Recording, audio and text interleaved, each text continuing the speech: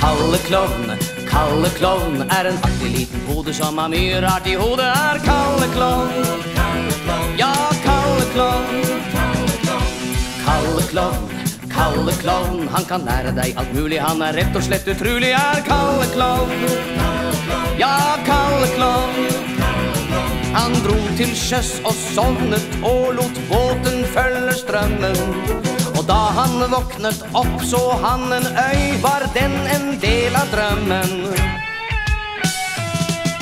Kalle Klovn, Kalle Klovn er en artig liten pode som har mye rart i hodet. Er Kalle Klovn, ja, Kalle Klovn. Kalle Klovn, Kalle Klovn, han kan lære deg alt mulig. Han er rett og slett utrolig. Er Kalle Klovn, ja, Kalle Klovn. Landet på øy og bor blant jungelpapegøyer. Alle vil se Kalle når han klovner og gjør avlegøyer.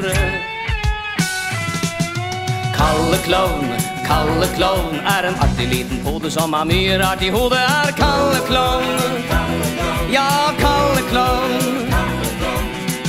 Klovn, Kalle Klovn, han kan lære deg alt mulig. Han er rett og slett utrolig. Er Kalle Klovn, ja, Kalle Klovn. Kalle er en klovn med mye moro på menyen. Han kan gjøre alt han vil med kun et grep på paraplyen.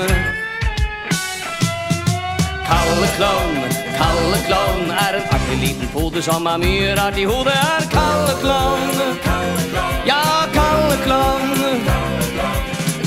klovn. Kalle klovn, han kan lære deg alt mulig. Han er rett og slett utrolig, er Kalle klovn. Kalle klovn.